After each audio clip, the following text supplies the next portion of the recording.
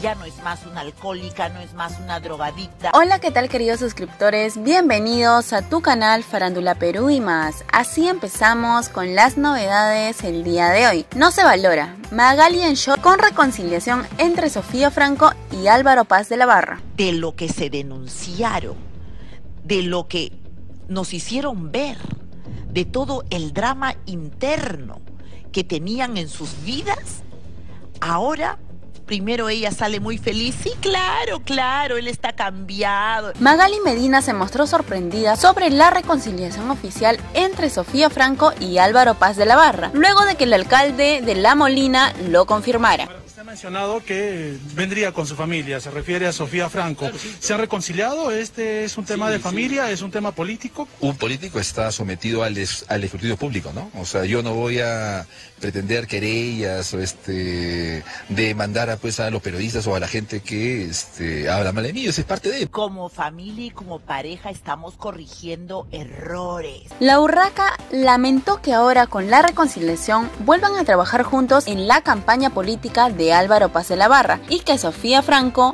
no se quiera. Familia y como pareja, como pareja.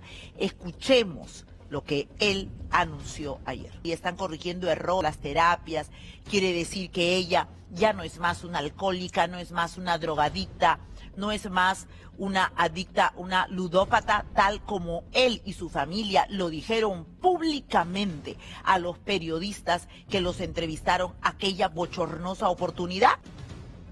Maltratador psicológico que dijo Sofía Franco.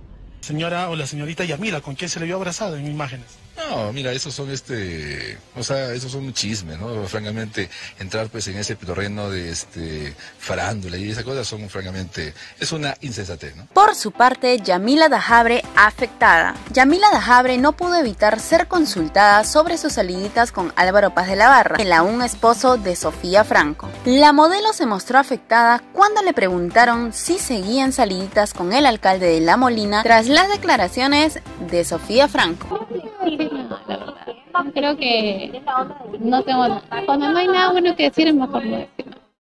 Y dilo. Lo dejo ahí, no tengo, la verdad. Ahí para mí queda.